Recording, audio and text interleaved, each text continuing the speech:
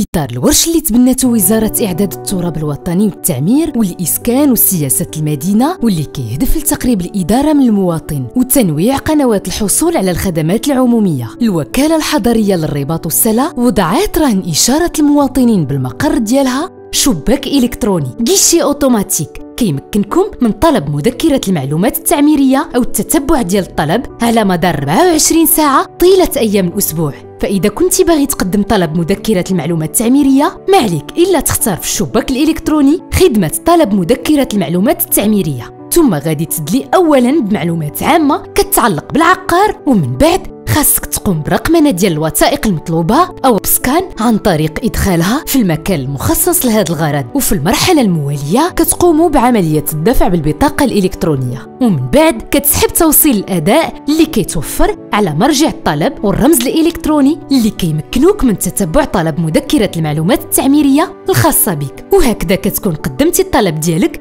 بسرعة وفي الحين.